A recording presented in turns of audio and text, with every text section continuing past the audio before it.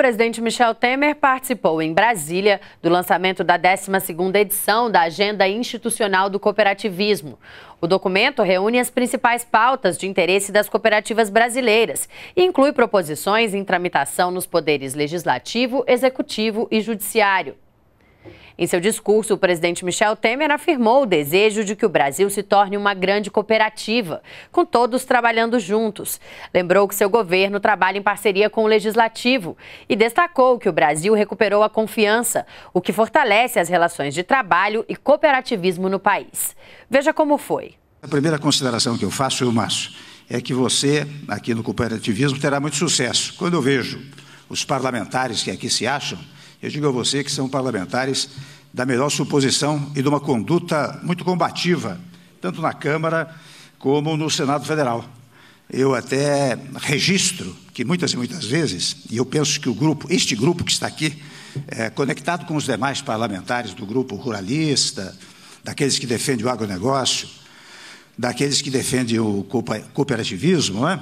são aqueles que muitas vezes é interessante, às vezes são obrigados a votar numa ou outra coisa contra o governo. Mas quando se trata do agronegócio, da agropecuária, do cooperativo, são todos, eu não vejo um voto divergente, em primeiro lugar. Segundo lugar, é absolutamente verdadeiro, vocês sabem disso. Em segundo lugar, ah, eu quero dizer que aqui estão aqueles que são combativos, são aqueles que vão para a tribuna. Você entra com um tema ruralista, um tema da agronegócio, da agropecuária, ou agora do cooperativismo, nas legítimas eh, posições que você colocou, eu tenho certeza que todos eles estarão lá no Legislativo eh, trabalhando em prol das teses que tão adequadamente você eh, e o Serralho apontaram, apontaram da tribuna. Não é?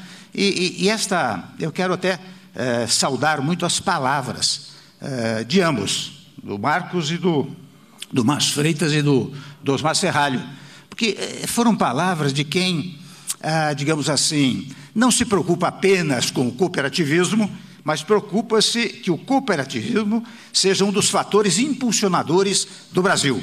E o meu sonho, meu desejo, meu desiderato, meu viso, meu objetivo é exatamente que o Brasil se torne uma grande cooperativa, em que todos cooperem entre si.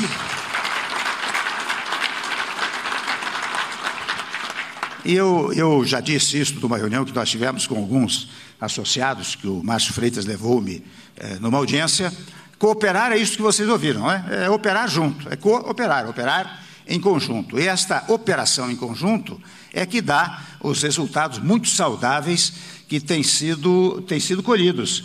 E, aliás, para falar, comentar as palavras do Márcio, ele, ele deu uma palavra-chave, que é a palavra confiança. É? A palavra confiança é que alicerça o cooperativismo. E é exatamente a palavra confiança que alicerça os avanços que nós estamos tendo no Brasil. Não é sem razão que hoje, o óbvio, hoje a nossa Bolsa de Valores, por exemplo, que nós apoiamos com 42 mil pontos, hoje alcança 86, 87 mil pontos. É confiança. Se não houver confiança, é claro que não há essa credibilidade geradora desses índices. Não há confiança, não cairia a inflação ao nível em que caiu, não cairiam juros ao nível em que caiu. É verdade que hoje, interessante, eu li algumas coisas, viu, Osmar?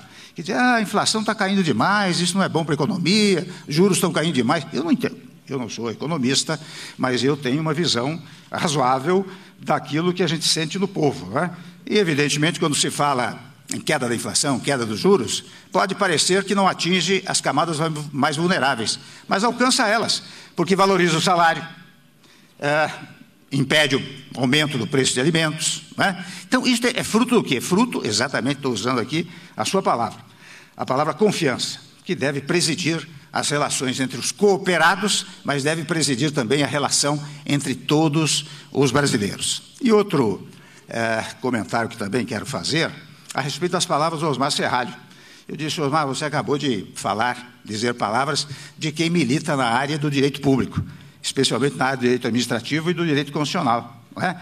Porque o que o país mais precisa é de segurança jurídica. E a segurança jurídica, ela vem precisamente como fruto do cumprimento da ordem normativa, e, no particular, do cumprimento da Constituição eh, Federal. A única figura que tem autoridade no país, autoridade para valer, é a Constituição. É? Porque a Constituição diz de quem é o poder. Nós aqui estamos todos ah, exercendo o poder. Aliás, é interessante quando se verifica na Constituição Federal o vocábulo poder, o, o Osmar sabe disso, eh, nós encontramos várias, várias acepções, várias concepções. Quando diz assim, todo poder emana do povo. Lá a palavra poder tem o significado de soberania, aquele poder incontrastável de mando, aquela capacidade né, de querer coercitivamente, capaz de fixar competências para um povo fixado num território. Este é o significado da primeira expressão da palavra poder. Mais à frente, quando diz é, são poderes da União, o legislativo, executivo e judiciário, a palavra poder aí tem outra significação.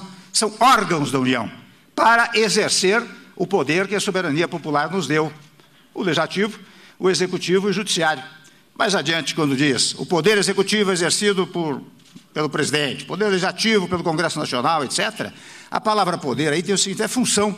A função legislativa, a função executiva, a função judiciária. São exercidas por tais e quais entidades ou autoridades. Esta é a acepção, mas este, este, esta conceituação é que leva à concepção de que o poder é, não é de quem o exerce.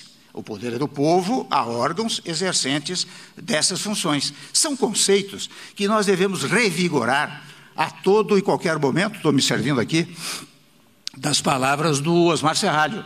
Porque é, quando a Constituição não é obedecida, quando a Constituição é desobedecida, ela perde autoridade. E como ele é, ela, a Constituição, é a primeira autoridade do Estado, Márcio Freitas. Isto acaba derruindo o fenômeno da autoridade, que não é útil é, para o país. Não é? Mas eu quero mais uma vez dizer que, pr primeiro, quero reiterar o agradecimento pela oportunidade. O Márcio agradeceu a minha presença, mas eu é que agradeço o convite, porque me dá a oportunidade de dizer umas palavras a uma boa parcela de brasileiros preocupados uh, com o nosso país. E, e, e, nós, no governo, nós valorizamos é, especialmente os princípios que inspiram as cooperativas, né? a autonomia, o aprimoramento profissional, o trabalho conjunto. Né?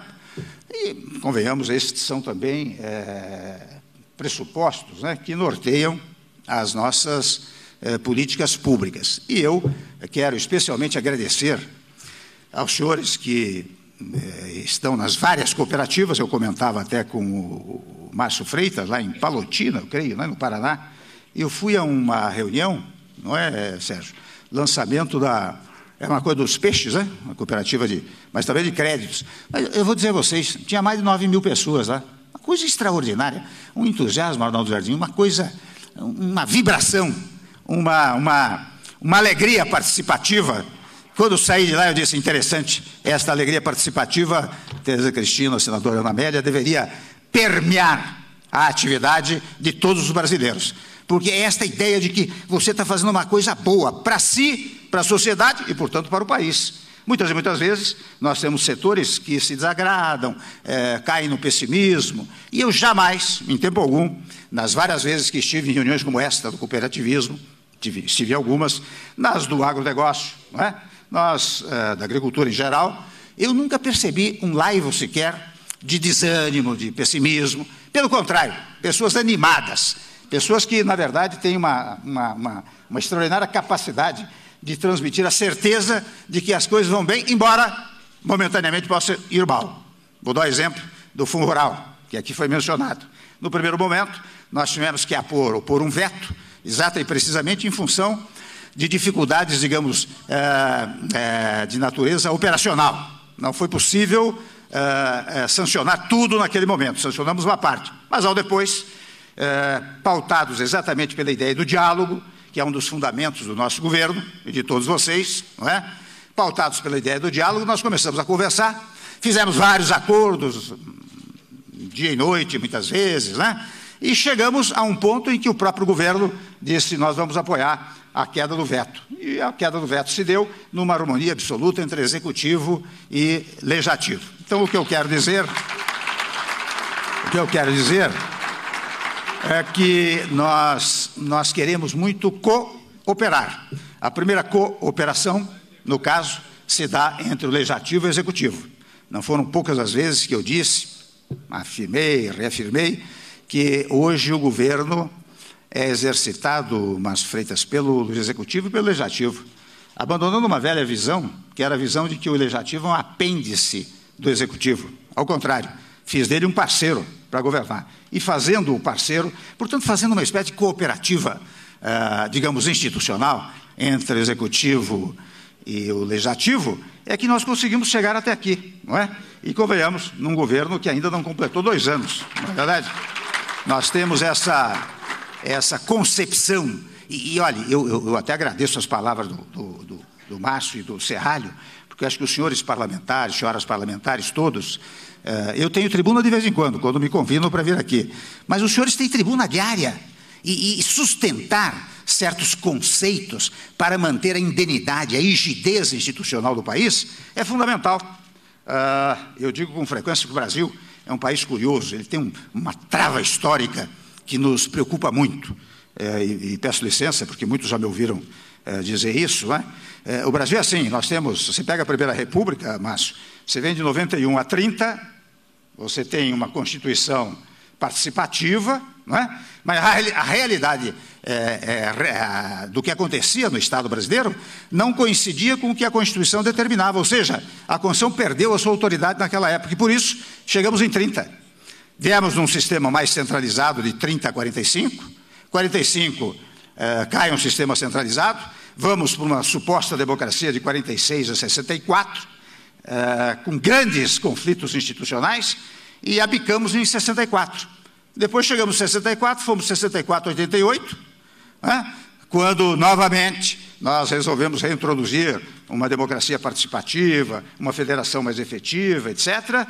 E, é, portanto, com isso eu quero significar que a cada 20, 25 anos, 30 anos, tem uma crise institucional. E nós não conseguimos superá-la, então qual é a ideia? Vamos criar um novo Estado. E quando eu digo vamos criar um novo Estado, é um novo Estado mesmo. Surge uma nova Constituição. É? Nós precisamos, neste momento, quando fazemos 30 anos da Constituição de 88, que é uma Constituição, embora detalhista, pormenorizada, mas foi uma Constituição que deu, digamos assim, a conjugação, a possibilidade da conjugação dos vários setores da nacionalidade, porque aqui no Brasil nós temos uma uma quase tentativa sempre de apartar setores e apartar atividades. Nós temos que cooperar, nós temos que somar setores e atividades. Não é? E aqui nós temos essa tendência. Então, quando começa a acontecer isso, parece que é uma crise insolúvel.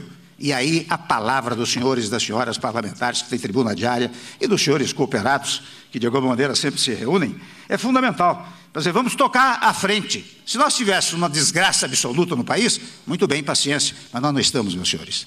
Nós estamos caindo a inflação, caindo os juros, nós estamos recuperando emprego, nós estamos recuperando a economia, graças, devo dizer, à atividade do agronegócio, que boa parte do PIB foi sustentado pelo agronegócio, pelo que os senhores fazem, não é verdade? Então nós temos que ser otimistas.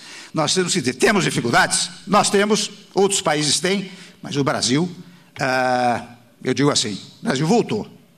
E com o apoio dos cooperados e das cooperativas, voltou para ficar e ser, se Deus quiser, uma grande cooperativa.